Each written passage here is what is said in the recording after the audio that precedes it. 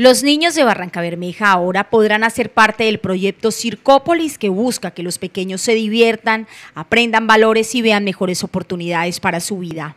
Bueno, Circópolis es un proyecto que busca que los niños se diviertan, que busca que los niños jueguen, que los niños desarrollen todas sus habilidades, que tengan un proyecto para la vida, que tomen buenas decisiones y un proyecto que a través del teatro y del circo busca que los niños se empoderen y jueguen y aprendan muchas habilidades para que asimismo transformen la sociedad. Si su hijo tiene entre 6 y 17 años podrá aprender la magia del arte, teatro y malabares. Muchísimas cosas, habilidades para la vida.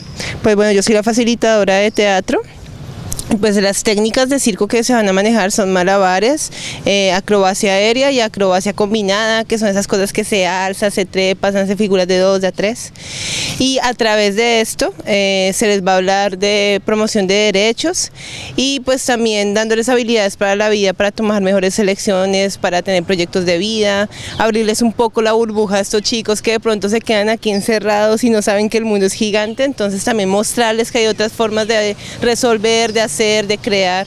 La invitación está abierta para que los pequeños puedan inscribirse el próximo 8 de abril. Circópolis se toma el puerto petrolero para crear y transformar espacios. Entonces todos los chicos y las chicas de todas las comunas los esperamos para que nos acompañen en la comuna 6 y 7. En la comuna 7 vamos a estar en Ciudad de la Educativa, en un espacio súper bonito que se llama Cultivarte, que los va a recibir con mucho amor. Y vamos a estar en la comuna 6, en la escuelita Eduardo Santos del Camilo Torres Restrepo.